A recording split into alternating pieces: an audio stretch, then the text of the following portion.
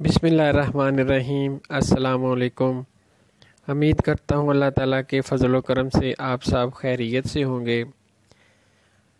आज का मौजू सफ़र जल बी, जिसको कोइंस फ्रूट कहते हैं, उसके मतलब है।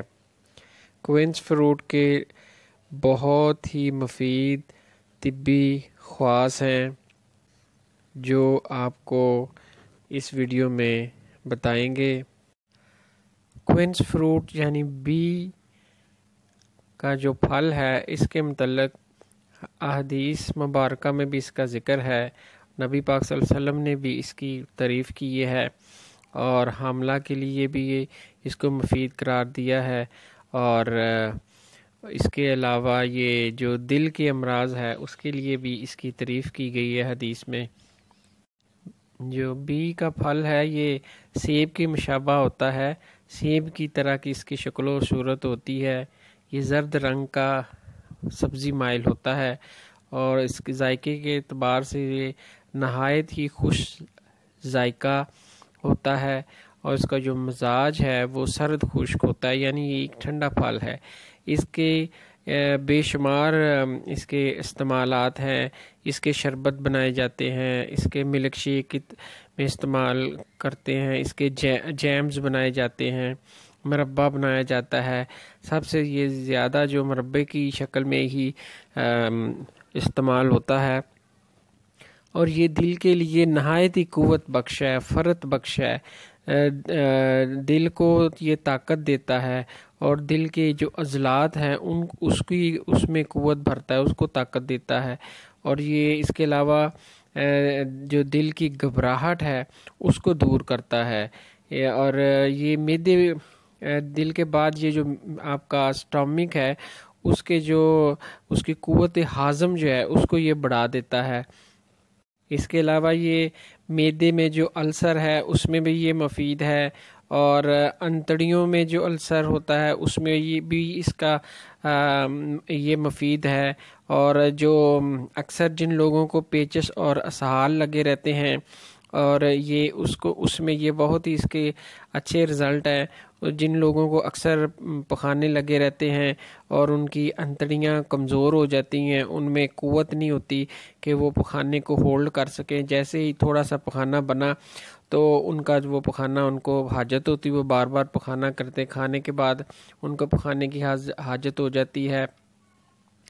ऐसे बूढ़े अशखास जो पखाने को कंट्रोल नहीं कर सकते अंतड़ियों में इतनी क़वत नहीं होती कि वो पखाने को कंट्रोल कर सके। और वो उनका पखाना जो है खारज होता रहता है और हवा अगर आए, उसमें भी वो पखाना निकलने की वो सूरत पैदा हो जाती है। ऐसे लोगों में इसका जो इस्तेमाल है, बी का वो नहायत ही मुफीद है।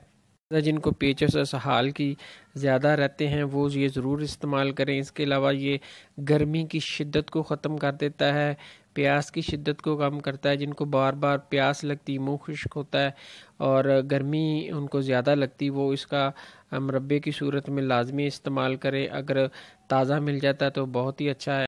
इसके अलावा ये जल्द के लिए भी बहुत अच्छा है। जल्द को खूबसूरत और तंदुरुस्त रखता है और जल्द जो झुरियाँ हैं, झुरियों के बनने के अमल को ये रोकता है। जल्द को अल्ट्रा वायलेट रेज से बचाने में आपकी मदद करता है।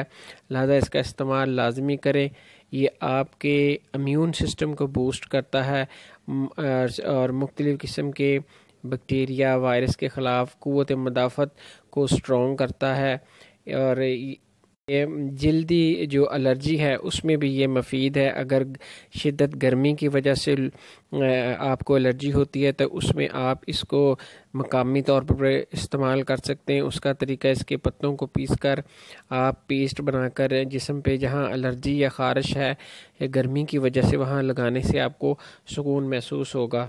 इसके अलावा इस फ्रूट में बेशुमार वाइटमिन मिनरल और फाइबर्स भी पाए जाते हैं। इसमें potassium, magnesium, iron, calcium, copper और प्रोटीन, इसके अलावा इसमें फास्फोरस भी पाई जाती है। बी वन, बी सिक्स पाया जाता है और इसमें बहुत ज़्यादा मकदार में विटामिन सी पाई जाती है।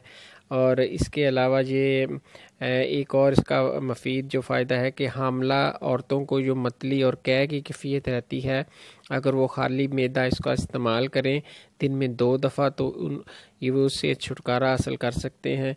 और इसके साथ मैदे मैदे की जो तजाबियत जो बढ़ जाती है, जो रिफ्लेक्स होता है इस ऊपर को, उसमें ये बहुत मुफीद है। मैदे के अमराज में जो लोग मुबतला हैं, वो लाजमी इसको इस्तेमाल करें। और ये ज़्यादातर ताज़ा नहीं मिलता बहुत से इलाकों में।